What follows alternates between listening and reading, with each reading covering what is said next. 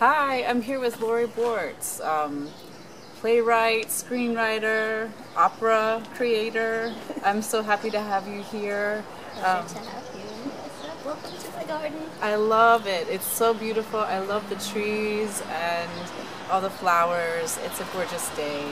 Um, yeah, and I have a few questions for you. All right. Um, my first question, because you've done all these things that I just mentioned. Yes. Um, how do you, um, how does your, how does that inspire what you do? Because you have all this knowledge.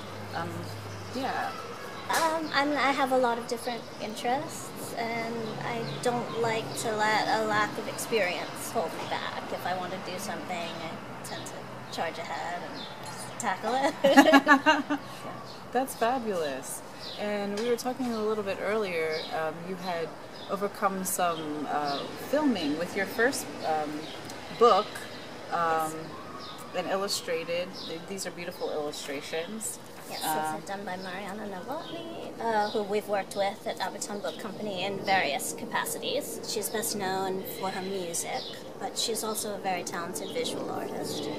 And Marianne also did uh, painted backdrops for the DVD that Oh, the accompanies this book, um, which is indeed a feature-length film that was shot in our home.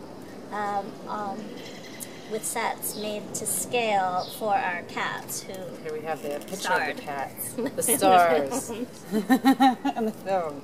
That's wonderful. Yeah. Um, I, I have to say, I found the cats far easier to work with than human beings. That's really great. yeah.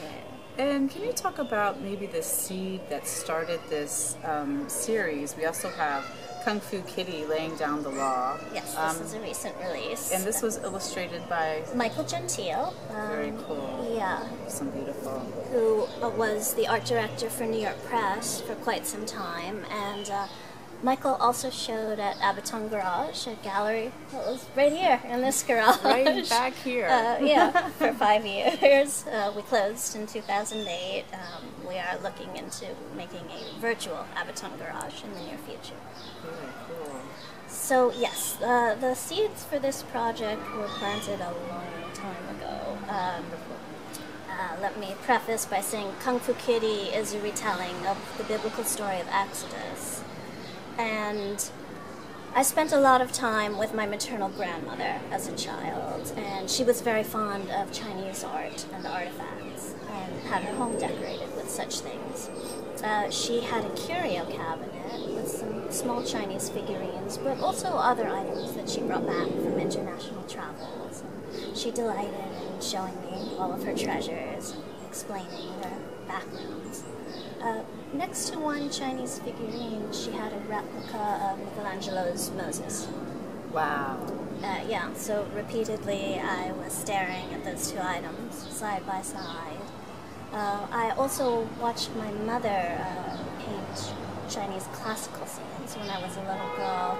Um, Chinese culture became, I hate to say, it, but trendy for a while uh, after Nixon's visit to China Right. um, all of a sudden at our school library there were tons of Chinese fairy tale and folk tale books, and I devoured them. Uh, there was a record of Chinese fairy tales that I must have checked out dozens of times to listen, and, and that helped me be able to pronounce the names. Which you Such. do, you have all. Um, I, I was really.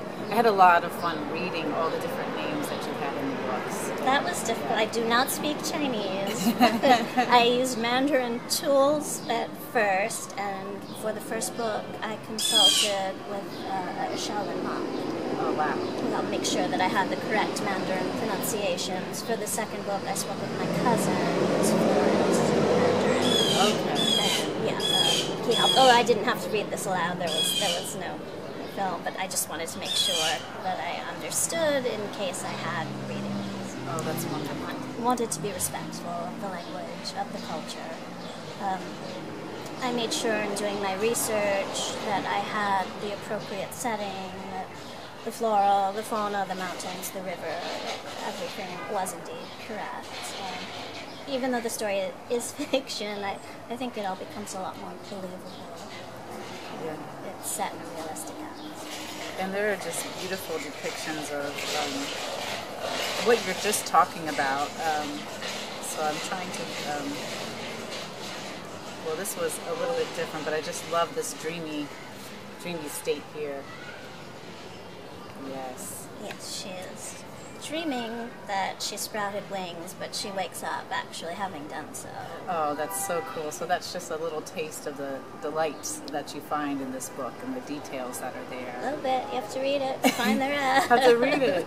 And and where can we buy these? Um, awesome. They can be purchased through uh, Abaton Book Company website Mm-hmm. and also at Amazon. At Amazon too. Mm-hmm. Wonderful. Wonderful. Thank you so much, Lauri. Thank I had so much fun. Woo-hoo. Buy your books.